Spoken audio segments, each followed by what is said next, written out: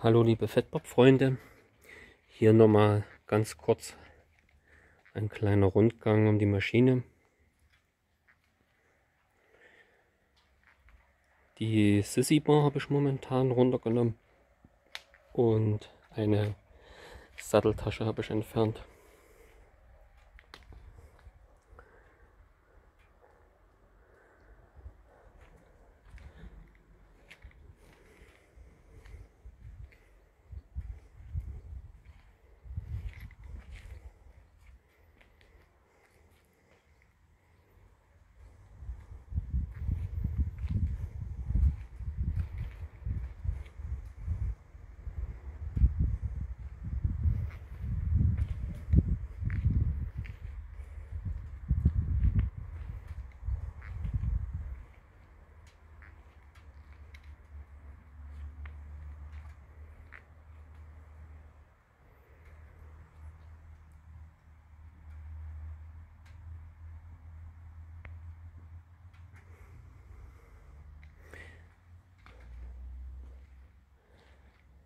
Das soll es dann auch schon wieder gewesen sein.